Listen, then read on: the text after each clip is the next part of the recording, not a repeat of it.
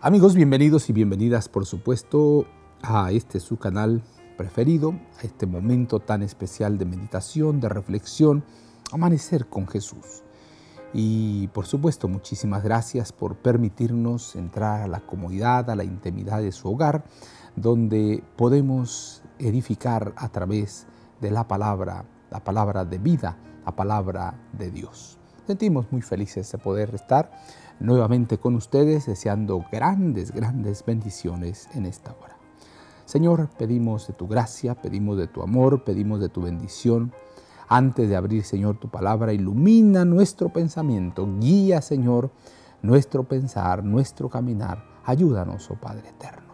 En el nombre poderoso, en los méritos de nuestro amante Salvador Cristo Jesús, lo pedimos todo. Amén, amén y amén.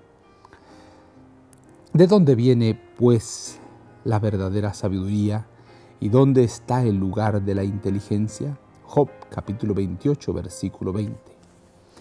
Tendrán que luchar con dificultades, llevar cargas, dar consejos, hacer planes, ejecutarlos, buscando constantemente la ayuda de Dios. Oren y trabajen, trabajen y oren como alumnos de la escuela de Cristo. Aprendan de Jesús. El Señor nos ha dado la promesa y si alguno de vosotros tiene falta de sabiduría, pídala a Dios, el cual da a todos abundantemente y sin reproche y le será dada. Santiago capítulo 1 versículo 5. Es conforme a la orden de Dios que los que llevan responsabilidades se reúnan a menudo para consultarse mutuamente, para orar con fervor por aquella sabiduría que solo Él puede impartir. Hablen menos, se pierde mucho tiempo precioso en conversación que no produce luz. Únanse los hermanos en ayuno y oración por la sabiduría que Dios ha prometido dar liberalmente. Den a conocer a Dios sus dificultades. Díganle como Moisés, no puedo conducir a este pueblo a menos que tu presencia vaya conmigo. Luego pídanle aún más, oren con Moisés. Te ruego que nos muestres, me muestres tu gloria. ¿Qué es esta gloria? El carácter de Dios, así lo proclamó el Señor a Moisés. El alma se aferre con fe viva a Dios. Cante la lengua sus alabanzas cuando se hallen reunidas.